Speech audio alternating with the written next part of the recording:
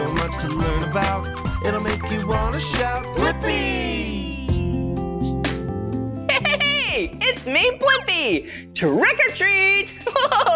Do you know what trick or treat is from? Yeah, Halloween! And do you know what people decorate their houses with?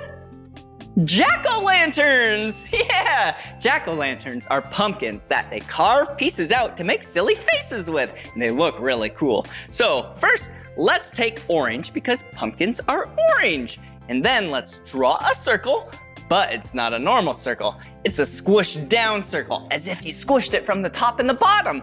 And then let's draw some lines. Yeah, so then we can give it some texture, but then we need a stem right up here just like that. There you go. Whoa! And then for the silly face.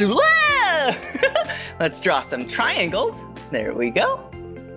Here we go. And for the mouth. There we go. Oh, oh, oh, ooh. yeah, like a tooth. well, if you want to draw more with me, all you have to do is search for my name. Will you spell my name with me? Ready? B-L-I P-P-I. Blippi. See you again. Trick or treat. Come on, everyone, let's make learning fun. Blippi, Blippi. So much to learn about, it'll make you want to shout!